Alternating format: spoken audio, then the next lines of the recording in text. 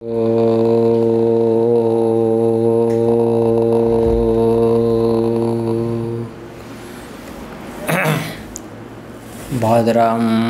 कर्णेभिः शृणुयामदेवाः भद्रं पश्येमाक्षभिर्यजत्राः।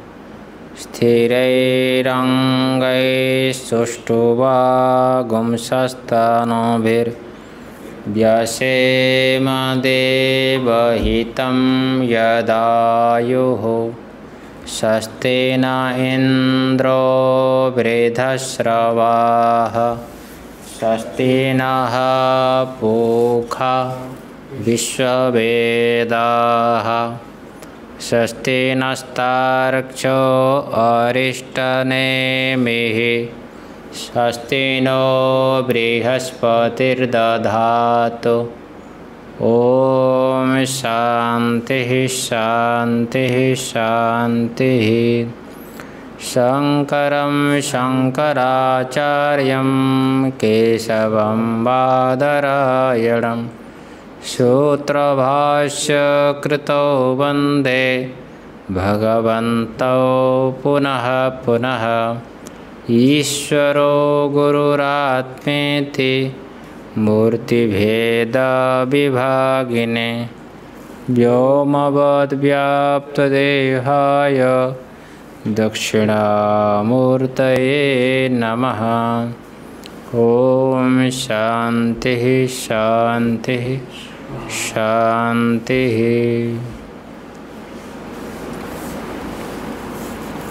इसको एक तरफ़ कर दो, तार को बीच में कर दीजिए। हाँ ऐसे करो। क्या हुआ? कर दो।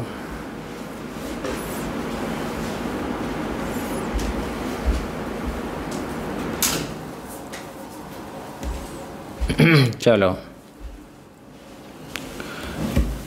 षष्ठ मंत्र हो गया? हम्म। षष्ठ मंत्र हो गया। सप्तम चलेगा।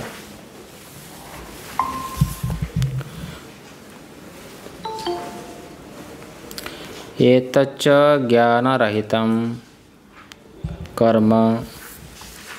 एतावत् फलम्। अविद्याकामकार्यम् अतो असारम दुःखमूलम इति निंदते क्या हुआ?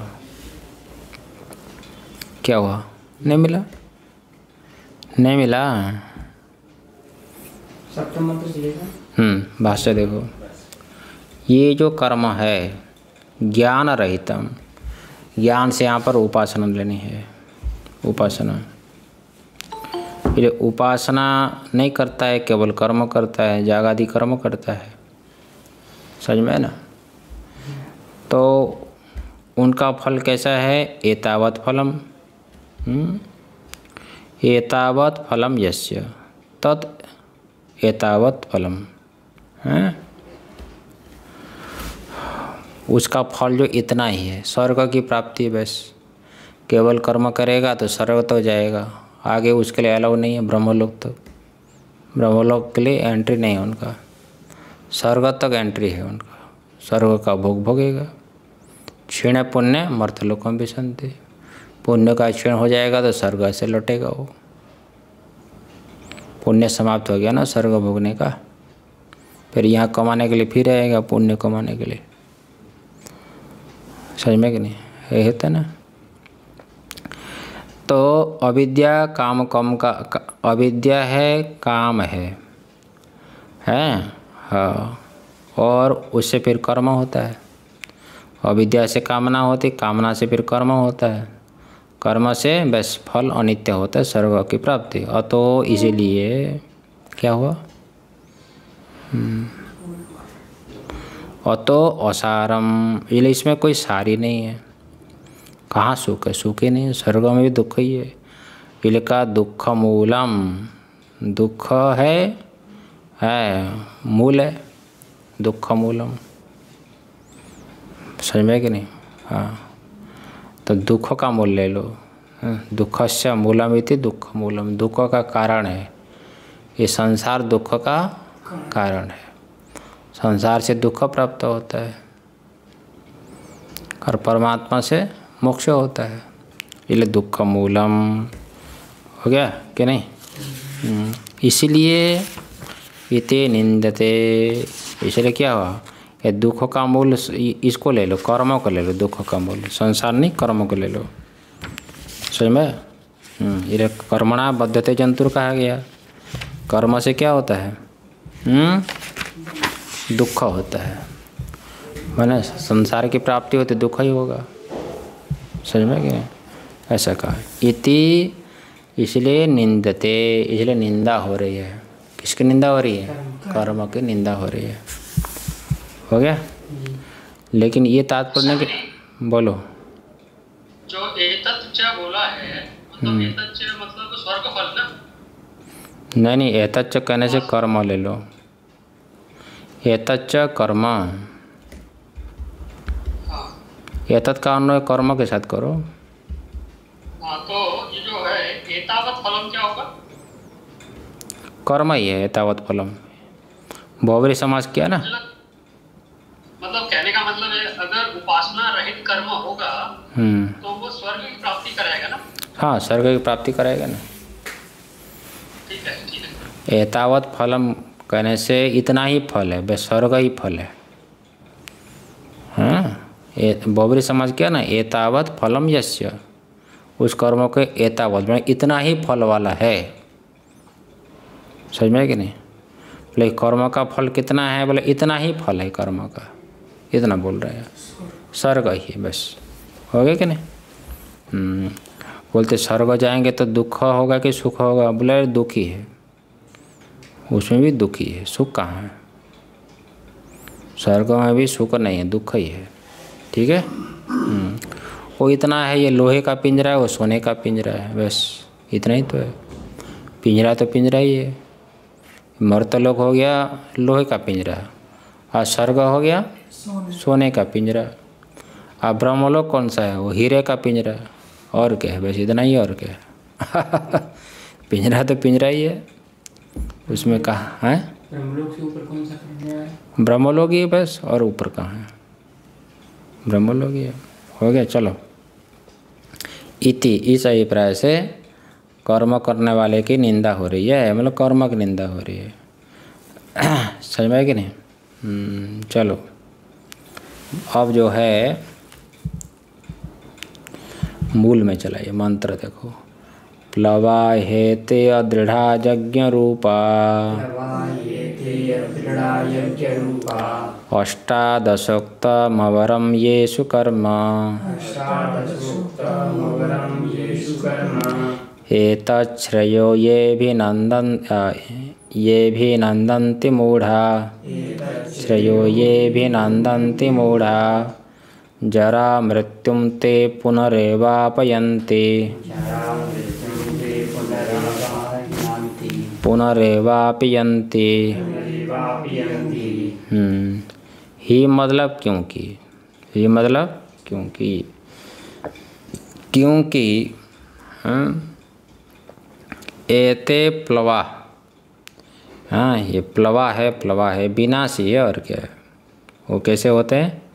विनाश है प्लवा विनाश है ना इत्यर्थ। देखो लिखा है ना भाष्य में। ये विनाशी है, विनाशी। कौन विनाशी है? ये यज्ञ रूपी। है ना? ये यज्ञ रूपी जो है, नौका समझ रहे हो, यज्ञ के द्वारा हम जो है, वो पार हो जाएँगे, मोक्ष को प्राप्त कर लेंगे। संसार से पार हो जाएँगे, समझ रहे हो ना? लेकिन ये यज्ञ रूपी जो नौका है, वो कैसा है? हाँ विनाशी है। क्यों? दृढ़ा भी नहीं ना? स्थिर नहीं है वो। इसलिए अदृढ़ा। क्या है? समझ में ना हाँ दृढ़ नहीं है। बहुत विघ्न में भी बहुत विघ्न है। स्थिर नहीं है। दृढ़ का मतलब हाँ अस्थ ये दृढ़ का मतलब स्थिर होता है और अदृढ़ का मतलब अस्थिर होता है, अस्थिर होता है। स्थिर नहीं, वो हिलता डुलता है। क्या? हिलता डुलता रहेगा ना? स्वर्ग भी कहाँ स्थिर हो? वो देवता लोग स्थिर नहीं होते हो देवता लोग बहुत चंचल होते हैं। क्या? हाँ देवता लोग बहुत चंचल, स्थिर नहीं हो, दृढ़ नहीं हो सकते। तुम्हारा बैराग्य तो टिक सकता है, देवताओं का बैराग्य टिकता नहीं हो। अरे, एक के पीछे एक भोग रह- होता रहेगा तो कहाँ स्थिर होगा वो? ये भी अभिप्राय हुआ ना? क्या? ऐसे में। अरे, एक भोग के पीछे दूसरा भोग आता रहेगा। हम्म होता है कि नहीं? अरे ऐसा कहीं कहीं होते हैं ना मतलब खातिरदारी करते हैं ना अतिथि सेवा करते हैं। हाँ एक खाने के बाद दस मिनट के बाद एक खाओ समझे। उसके बाद एक खाओ समझो। खिलाते ही रहेंगे तो कहाँ से बुद्धि स्थिर होगी? बताओ। नहीं हो सकते ना? ये देवताओं का ये होता स्वर्ग में ऐसा है ना? ये स्वर्ग कैसा है? दृढ़ नहीं है अस्थिर है अस्थिर है। समझ में कि नहीं? हम्म। अच्छा। और अष्टादशोक्त अवरम ये सु कर्म। अष्टादश बोल दिया अष्टादश। हाँ तो अष्टादश बोले सोलह मिल करके कर्म करते हैं ना? क्या? सोलह मिल करके है ना? वही बताएँगे, सोलह और दो, अठारह हो जाएँगे। सोलह होते ऋत्विज और पति पत्नी मिलाकर कितना हो गए? दो, अठारह हो गए। ये अठारह में आश्रित होता है यज्ञ। इसलिए अठारह में आश्रित जो यज्ञ है शास्त्र में कहा गया ऐसे है कि नहीं? अवरम ये सु कर्म हम्म, ये अठारह में आश्रित जो कर्म है ये निकृष्ट कर्म हुआ ना? क्या केवल कर्म करता है उपासना नहीं करता है? उपासना युक्त कर्म वो श्रेष्ठ है। और उपासना से रहित कर्म निकृष्ट हो गया है। उसकी निंदा हो रही है केवल कर्म की निंदा हो रही है। समझ में कि नहीं? हम्म, आगे देखो। और देखो बड़े खुश होते हैं ये कर्मकांडी लोग क्यों खुश होते हैं? देखो यार यही मोक्ष का साधन है ना? ये तत्श्रेयो बस यही श्रेय है। श्रेय मतलब क्या है? मोक्ष का साधन। हो गया? ये जो कर्म हम कर रहे हैं यही मोक्ष देने वाला है। है कि नहीं? ऐसा मान करके ये मूढ़ा अभिनंदनती वो बड़े खुश होते हैं। हैं? जो मोक्ष का साधन नहीं है मोक्ष को उसको यदि मोक्ष का साधन मानेंगे, उसको विवेकी कहा जाएगा कि मूड कहा जाएगा? हम्म? क्या कहा जाएगा? मूड कहा जाएगा। मूर्ख ही कहा जाएगा। है ना? ये मीमांसक लोग हैं। अपाम सोमम अमृता होम सोमराज पान कर देंगे तो अमृत हो जाएँगे। हो जाएँगे अमृत? हम्म? अमृत नहीं हो सकते वो लोग। बस में ये यहाँ पर कह रहे हैं। तो क्यों आपको भाई उसको गाली दे रहे हैं? मूड क्यों बोल रहे हो? मूड क्यों कह रहे हो? बोले ते जरा मृत्युम पुनर्एव अपि यन्ते वो जरा मृत्यु रूपी संसार है, उस संसार को फिर प्राप्त करेंगे ना। कर्म करेंगे तो स्वर्ग जाएँगे, स्वर्ग से लौटेंगे। स्वर्ग से कैसे लौटते हैं? देखो, छांदोग्य में सुने ना पंचागिनी विद्या में? हम्म? सुने कि नहीं सुना? नहीं सुने हो? अरे दिवलोक में प्राप्त करेंगे, फिर वृष्टि हो जाएगा, फिर मेघ हो जाएगा, और क्या, फिर जो है वो अन्न हो जाएगा, अन्न के फिर वो अन्न होगा तो उसको कौन खाएगा, क्या पता है? और बकरी, लो। अरे अन्न के अंदर रहेगा, अन्न को कौन खाएगा, पता है? बकरी खाएगी कि कुत्ता खाएगा कि मनुष्य खाएगा?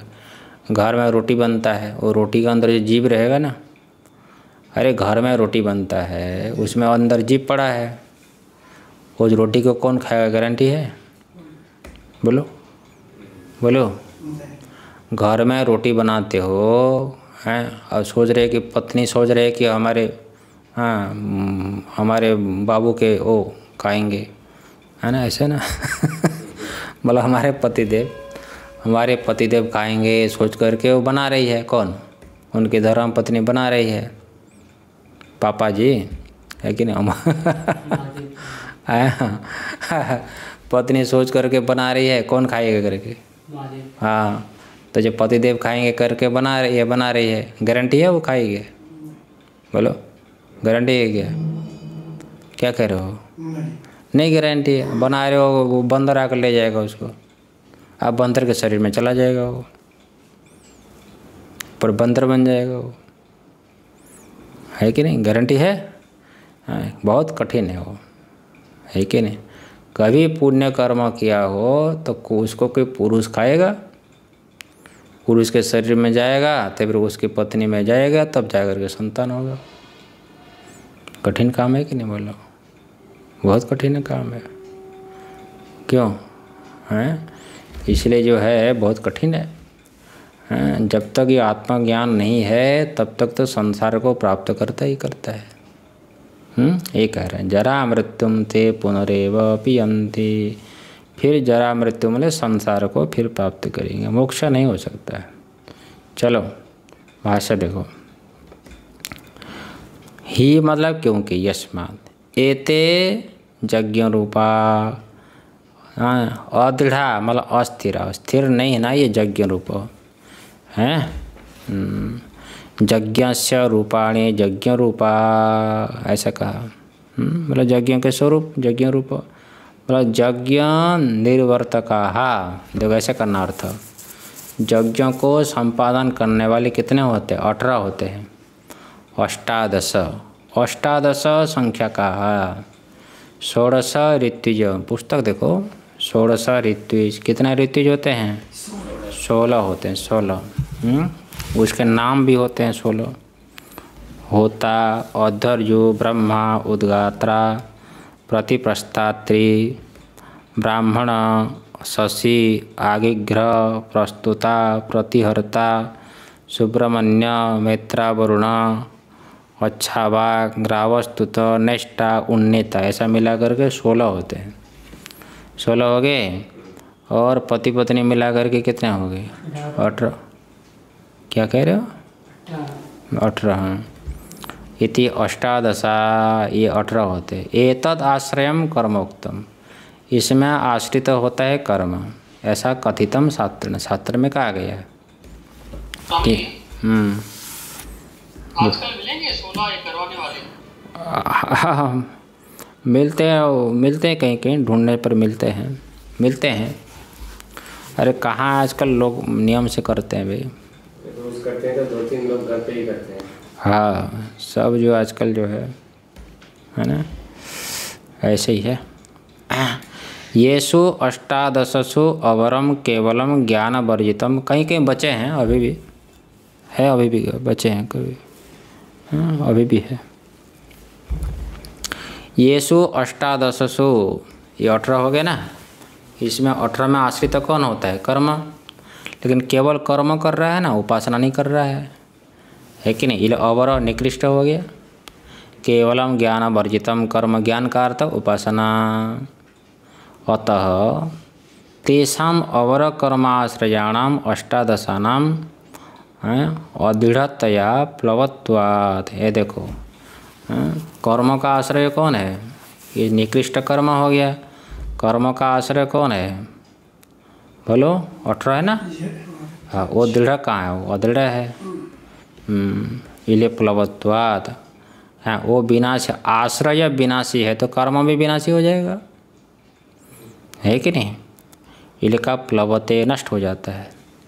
है ना? सह फले ना वो वो फल के साथ नष्ट हो जाएगा कर्म।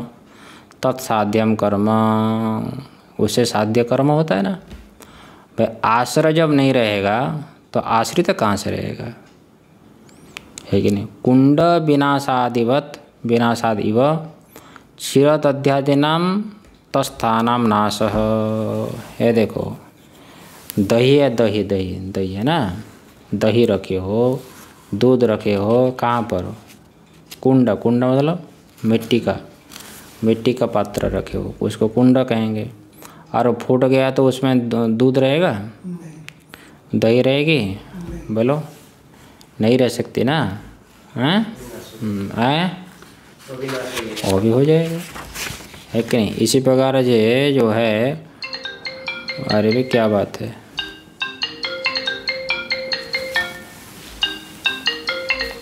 हम्म अभी समस्या ना बताओ। हाँ, सारा संसार समस्या में जूझ रहा है। है कि नहीं? और और समस्या क्यों है? है कि नहीं? सबको आजकल समस्या है। क्या? क्या? कोई ऐसा नहीं समझ में नहीं जिसको देखो कोई समस्या ही है बोला। ये संसार का दूसरा नाम क्या है? समस्या है। है कि नहीं? क्यों भाई? कोई कोई बच्चे होते हैं कि समस्या ना बतावे। है कि नहीं? केवल ब्रह्म की चर्चा करे शास्त्र की चर्चा करे कोई कोई है। हम्म? क्यों भाई? सही है ना? क्या बोलते हो आप लोग? क्यों राजो सही है? हैं? जब तक मिथ्या तो हाँ जब तक मिथ्या तो निश्चय नहीं हुआ तब तक समस्या जाएगी नहीं ना? हाँ वही तो है। हाँ वही। है कि नहीं? जो करना चाहिए आज मैं भी छांदोग्य बोल रहा था मैं छांदोग्य में। हाँ सा, साधक को जो करना चाहिए वो नहीं करते हैं बस। हम्म, जो करना चाहिए वो नहीं करते हैं। है कि नहीं? इसलिए सारी समस्या और क्या है? साधक को जिस समय जो करना चाहिए वो करना चाहिए। हम्म? गीता में रोज आप बोलते हैं स्वधर्म में निधनम श्रेय परधर्मो धर्म का स्वरूप बदलता रहता है। अभी आपके लिए जो धर्म है, आगे वो धर्म आपका नहीं रहेगा, बदल जाएगा। हम्म? नहीं बदलेगा? क्या कहते हो? धर्म हमेशा सबके लिए समान नहीं होता, बदल जाता है। बोलो। क्या? अधिकारी के भेद से। इसलिए साधक को उस समय जो करना चाहिए, वही उनका धर्म होगा। हम्म? चित्त शुद्ध नहीं है तो क्या करना चाहिए? कर्म करो, निष्काम भाव से कर्म करो, साधु की सेवा करो, आचार्य की सेवा करो। करते हैं लोग? बोलो? कहाँ करते हैं सब लोग? अरे सब लोग हाँ जितने वेदांत सुन रहे कहाँ करते हैं? सेवा का नाम सुनते ही भाग जाते हैं लोग। सेवा का नाम सुनते ही भाग जाते हैं। बोलो? सब्ज़ी आमनी का, सब्ज़ी आमनिया करो तो नहीं, भाग जाएँगे सब। लेकिन भोजन के समय तो आ जाएँगे सब। हम खुद भोजन पाएँगे और वो फिर भी सब्ज़ी आमनिया करो बोले तो नहीं करेंगे। और सुनेंगे वेदांत। हम्म? सुनेंगे वेदांत। तो कल्याण हो जाएगा? बोलो। हाँ। हाँ क्यों भाई? सुन रहे ना आप लोग भाई? वेदांत तो सुनेंगे, लेकिन सेवा का नाम सुनते ही भाग जाएँगे कैसे होगा कल्याण, बोलो? हो जाएगा। हाँ? हो जाएगा। महापुरुष की आज्ञा का पालन करना सबसे बड़ा धर्म है। महापुरुष की आज्ञा का पालन करना सबसे बड़ा धर्म है। उसको नहीं करेंगे और वेदांत तो सुनेंगे तो कैसे होगा? इसको बोलते एक देशी क्या बोलते हैं इसको? हाथ धो कर आ जाओ। एक देशी वेदांत सुनते समय वो मुँह में आंगली लगा रहे हो। हैं? हम्म। तो हाँ ये कह रहा था एक देशी हो गया ना ये? क्या हो गया? एक देशी मतलब क्या? हमको जो अच्छा लगेगा वो करेंगे। और जो अच्छा नहीं लगेगा, वो नहीं करेंगे। इसका नाम क्या होता है? एक एक देशी वेदांत हमको अच्छा लग रहा है, सुनेंगे। है कि नहीं? लेकिन आचार्य की आज्ञा का पालन करना कोई ज़रूर नहीं है। हम नहीं करेंगे, हमारी इच्छा नहीं है। इसका नाम क्या है? इसको बोलते एक देशी समझ में कि नहीं? समस्या है। चलो, आगे देखो। हो गया ना? इसलिए जो सोलह जो है पति पत्नी हमेशा रहेंगे? हाँ वो भी दृढ़ नहीं है तो उससे होने वाला कर्म भी कहाँ से दृढ़ होगा? वो भी विनाशी हो जाएगा। समझ में कि नहीं? ये हो गया। चलो यत एवं एतत् कर्म श्रेय श्रेय कारणम देखो ये जो कर्म है मोक्ष का साधन है। ऐसा मानते हुए बड़े प्रसन्न हो रहे हैं। ये अभिनंदनती मतलब अभिहृष्यंती वो अविवेकी हो विवेकी नहीं है इसलिए उसको मूढ़ कहा जाएगा मूढ़ा। अतस्ते जराम च मृत्युम च जरा मृत्युम हम्म? जरा मृत्यु भाव मतलब षड़भाव विकार है ना? कितने विकार होते हैं शरीर में? छह विकार होते हैं मालूम है? जायते बोलो आगे। सीधा बढ़ देते जायते के बाद अस्थि अस्ति। हम्म, आगे। हम्म, विपरिणते नहीं विपरिणामते। विपर्णमते। विपरिणमते। आगे अपक्षीयते विनाश्यते। ये छः भाव विकार है तो ये जरा मृत्यु दो कह दिया बाकी सब ले लो। जरा मृत्यु किंचित कालम स्वर्गे स्थित्वा। हम्म, कर्म करेंगे स्वर्ग तो जाएगा। लेकिन स्वर्ग में पुण्य के अनुसार रहेगा। पुनरेवापि यंती मतलब भूयोपि गच्छन्ति। हाँ हाँ फिर जन्म लेगा। कहाँ जाएगा वो पता नहीं भगवान जाने। वो कर्म के अनुसार उनको शरीर की प्राप्ति होगी। समझ में कि नहीं? ठीक है? हम्म, मनुष्य शरीर मिलेगा गारंटी नहीं है। ये तात्पर्य। हो गया? अच्छा जी अगला श्लोक देख लो। आठ नंबर, श्लोक देखो। किंच तो टीका है? वो यज्ञ रूपा बोल दिया ना, वही दिया होगा। हाँ ठीक है, एक ही फ़ोन। यज्ञ रूपा रूप्य, रूप्यते निरूप्यते यद आश्रतया यज्ञस। ते यज्ञ रूपा मतलब यज्ञ का संपादन, निरूपण मतलब संपादन, जिसमें आश्रित होकर के यज्ञ का संपादन होता है। उसको क्या बोल दिया? यज्ञ रूपा कितना यज्ञ रूपा है? अठारह। सोलह है ऋत्विज। पति पत्नी मिला करके अठारह हो गए। अठारह को कह दिया यज्ञ रूपा मतलब यज्ञ का संपादन अठारह के द्वारा होगा ना? इसलिए अठारह को क्या बोल दिया? यज्ञ रूपा हो गया? चलो। आगे देख। और निंदा कर रहे हैं। सूती और गाली दे रही है। गाली मतलब डांट रही है, निंदा कर रही है। किसकी? हाँ कर्म की। इसका मतलब ये नहीं कि कर्म कोई भी न करे, ऐसा नहीं यहाँ पर तात्पर्य है। हम्म? ये तात्पर्य नहीं ठीक है, जीवन भर जो कर्म करता है, ठीक है, अथवा ये समझ रहा है कि कर्म ही मोक्ष का साधन है तो उसकी निंदा हो रही है। हाँ और संसार में कोई भी कर्म न करे, ऐसा नहीं यहाँ पर।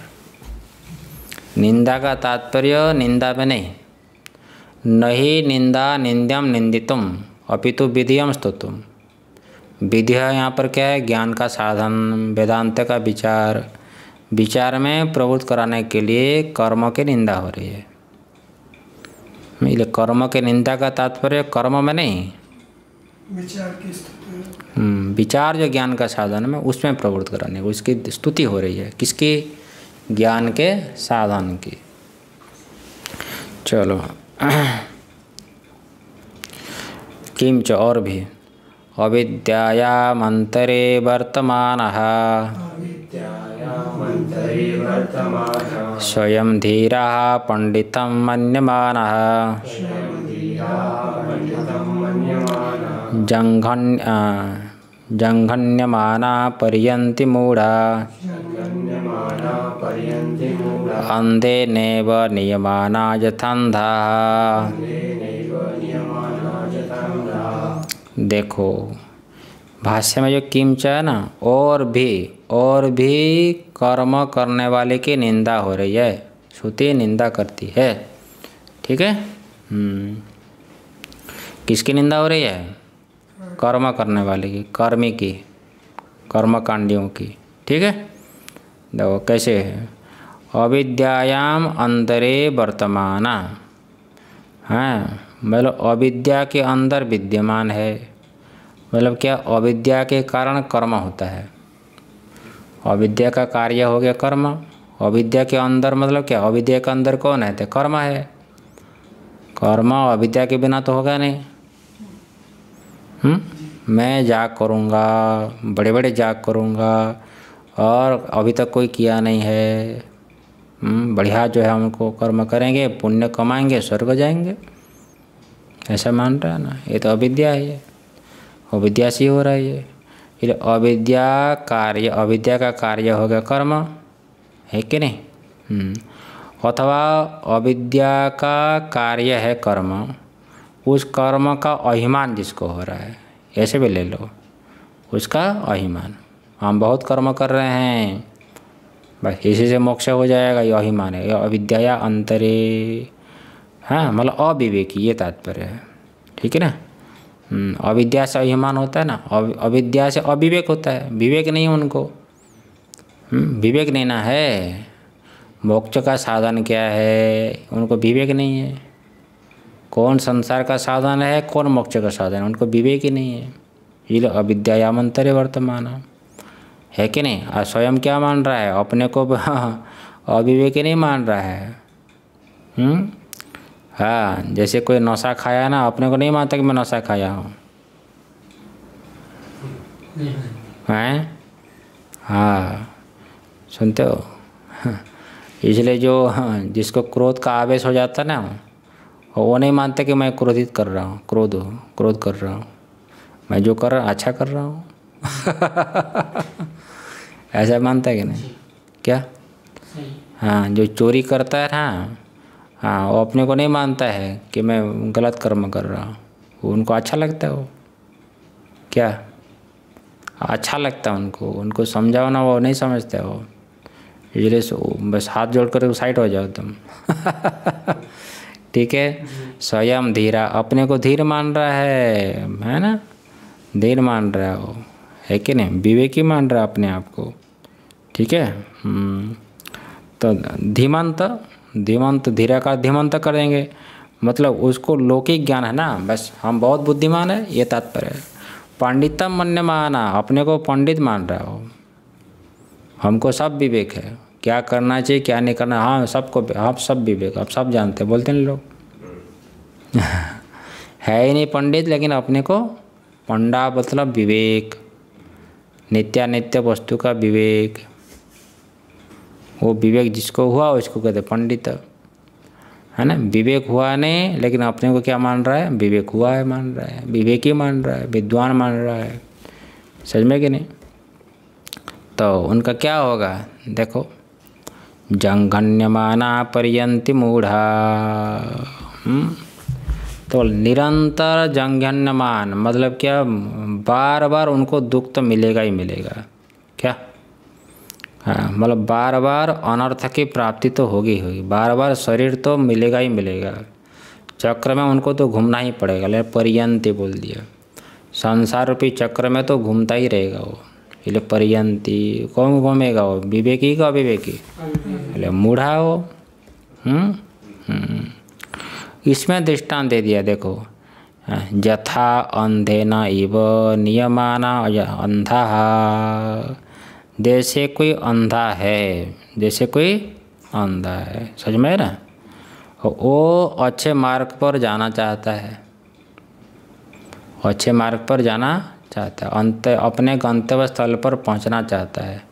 तो किससे पूछना चाहिए? अंधे से पूछना चाहिए कि चक्षु वाले से पूछना चाहिए? लेकिन पूछा किससे? अंधे से पूछा। हाँ तो अंधा तो अपने मार्ग पर नहीं जा सकता है। उसका जो आश्रय लेगा, वो भी नहीं जा पाएगा। है कि ये दोनों दोनों जो है गिरेंगे गड्ढे में। उनके गुरु तो गिरा है। ऐसे गुरु का जो आशा लेगा, वो भी गिरेगा। हाँ ये कर्म का जो उपदेश करने वाले हैं गुरु, वो भी गिरा है वो। वो भी संसार में गिरा है। हाँ उसका जो आश्रय लेगा, जो चेला उनका, वो भी गिरेगा संसार में। कि मुक्त हो जाएगा। हाँ वो मुक्त होगा। हाँ इसको कहते हैं अंधा परंपरा। क्या कहते हैं? आजकल अंधा परंपरा खूब चल रही है?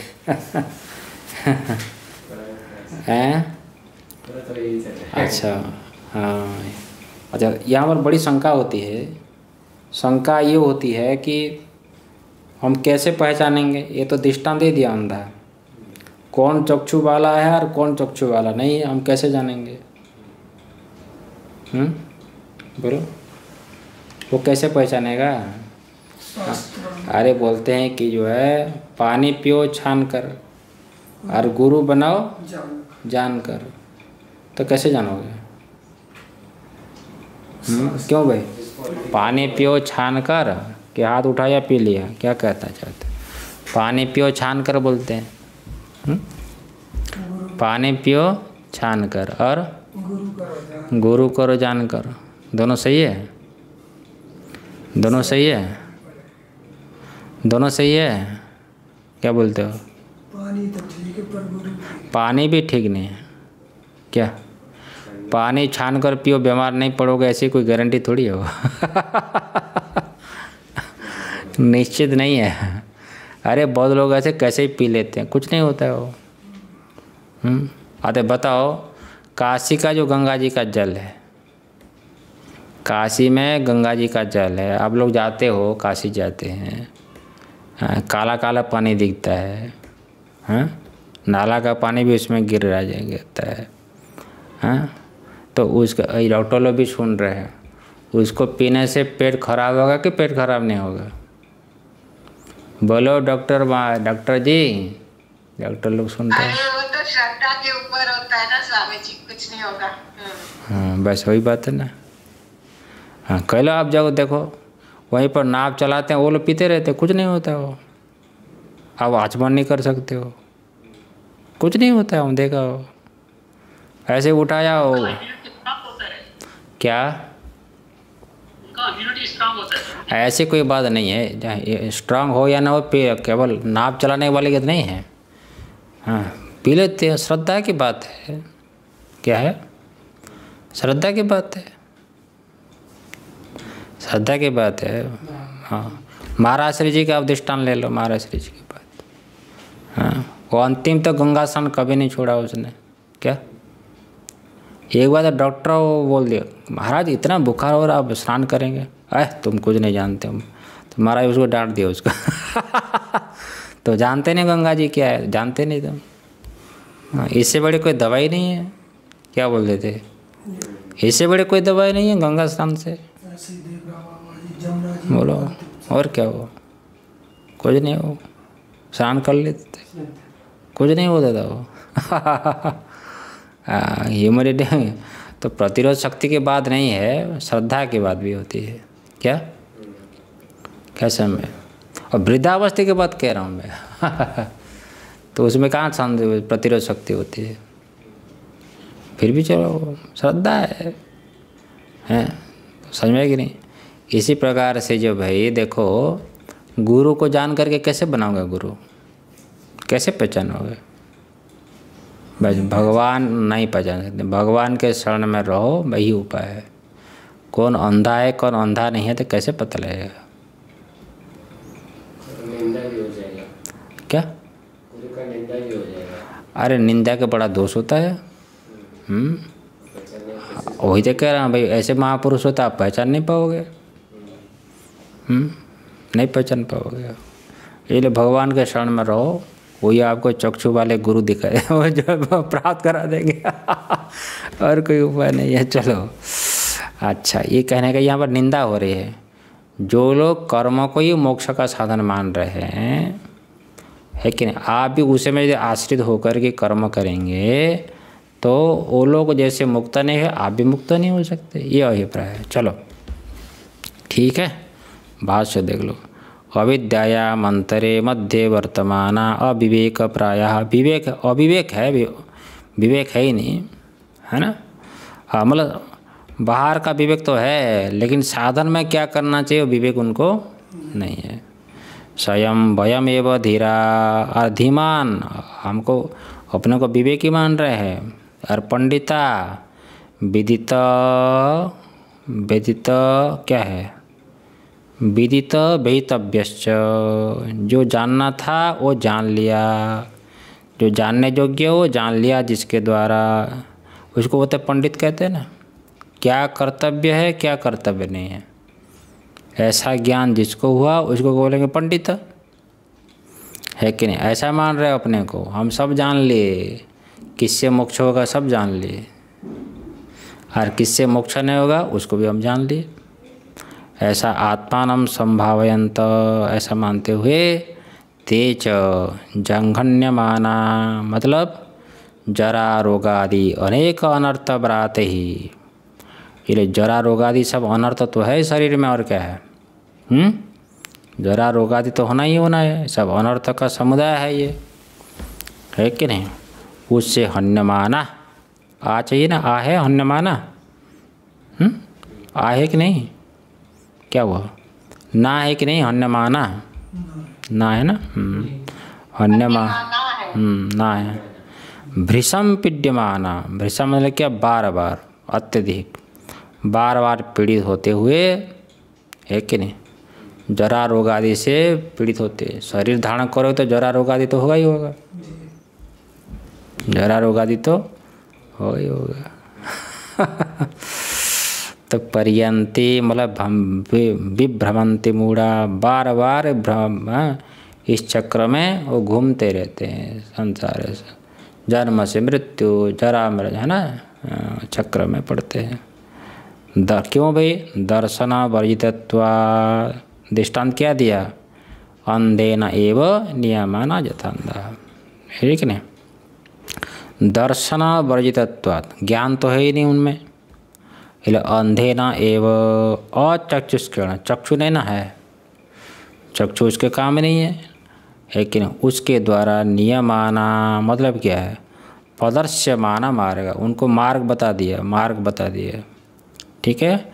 यथा लोके जैसे व्यवहार में अंधा अविरक्षत अवि अक्षी रहिता अंधा मतलब कौन होता है? जिसके पास देखने का साधन चक्षु नहीं है, उसको कहते अंधा। हाँ। ठीक है? गर्तक कंटदादो पतंती तद्वत। ये दृष्टांत हो गया। है कि नहीं? अंध के द्वारा दिखा गया मार्ग के मार्ग से जाएँगे तो कहाँ गिरोगे? इसी में गिरोगे कि नहीं? गड्ढे में गिरोगे, कांटा आदि कांटे आदि में गिरोगे। हम्म? है कि नहीं? इसी प्रकार जिसके पास चक्षु नहीं है, चक्षु मतलब क्या नहीं है? ज्ञान नहीं है। है कि नहीं? क्या नित्य है क्या अनित्य है? नित्य प्राप्ति का साधन क्या है? है कि नहीं? संसार की प्राप्ति का साधन क्या है? है कि नहीं? संसार की प्राप्ति का साधन को यदि मोक्ष की प्राप्ति का साधन मानोगे तो उसको क्या कहा जाएगा? अंधा नहीं कहा जाएगा? हम्म? और उसी के ऊपर आप आश्रित होकर के चलोगे हैं? तो आप गंतव्य स्थल पर पहुंचोगे? गंतव्य स्थल आपका क्या है? मोक्ष यद गत्वा निवर्तनते तद्धाम परम वो जो आपका परम धाम है आपका स्वरूप नित्य सुख वो नित्य सुखों को प्राप्त नहीं कर सकते। संसार रूपी दुखों को प्राप्त करोगे। नहीं मोक्ष को प्राप्त नहीं कर सकते। ये अभिप्राय समझ में कि नहीं? तो ये अभिप्राय नहीं कि संसार में कोई कर्म ना करे। कर्म को ही जो मोक्ष मानता है उसकी निंदा हो रही है। हैं? लेकिन हम चित्त को शुद्ध करने के लिए कर्म करें। है कि नहीं? ज्ञानिना कर्म कुर्वन्ते, संगम त्यक्त्वा आत्मशुद्धि। ज्ञानी मतलब विवेकी। विवेकी लोग भी क्या करते हैं? कर्म करते हैं। किसके लिए? अंतकरण के अंतकरण की शुद्धि के लिए। तब तो कोई विरोध नहीं है। शास्त्र कहता है तमेतम आत्मान है? वेदानुवचन विविधि शांति यज्ञेन, दानेन, तपसा अनाशकेन ब्रह्मसूत्र में आ गया है ना? कि सर्वापेक्षा च यज्ञाते श्रुतिरस्वत जैसे घोड़े का विनियोग हल जोतने में होता है कि रथ में होता है? रथ में होता होता है ना? इसी प्रकार कर्म का विनियोग मोक्ष में नहीं हो सकता है। लेकिन ज्ञान के साधन में चित्त को शुद्ध करने के लिए हो सकता है। किसका विनियोग? कर्म का विनियोग। कर्म का विनियोग मोक्ष में नहीं हो सकता है। कब तक कर्म करना पड़ेगा? अभी तो बताते हुए वो। चित्त शुद्ध होने तक। चित्त जब तक शुद्ध ना हो कर्म करो। समझ में आया? क्या करें बोलो एक जन्म में हो जाएगा तो दूसरी जगह क्यों नहीं हो सकता है जन्म में? क्यों नहीं हो सकता? जैसा भाव ऐसा ना बोलो। जैसा भाव से करना चाहिए ऐसा करोगे तो होगा। हम्म। ओम शांति ओम पूर्ण पूर्णमदः। एक पंक्ति थी क्या? चलो कल करेंगे। ओम पूर्णमदः पूर्णमिदं पूर्णात् पूर्णमुदच्यते पूर्णस्य पूर्णमा